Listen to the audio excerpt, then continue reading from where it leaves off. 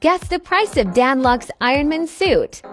Velvet is a formal piece. There's a couple of uses for velvet. Number one, formal events. So that means instead of a tuxedo, you can wear a velvet suit. A lot of people don't know that. And I'll tell you why you should consider it. Because if you're going to different parties, if you've made it as a sale, if you're like Dan and you've fricking made it, like you're getting paid a hundred grand to speak at an event, if you go up in front of an audience and you're always wearing the same thing, eventually people notice. So it's nice to add variance to your formal wardrobe by having a tuxedo made of velvet. Number two use for velvet.